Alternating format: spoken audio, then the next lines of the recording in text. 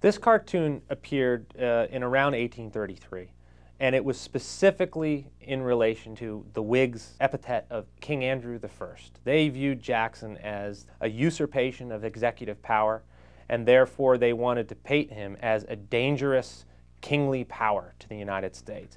And in this image, you can see Jackson, you know, with a crown, a scepter, a kingly robe, and he, of course, is standing, you know, upon the Constitution, which he has stomped underfoot.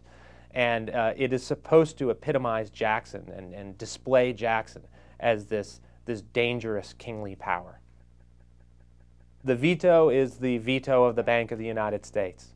I mean, the, the thing that really coalesces the anti-Jackson forces is Jackson's attack on the Bank of the United States, and especially the removal of the deposits.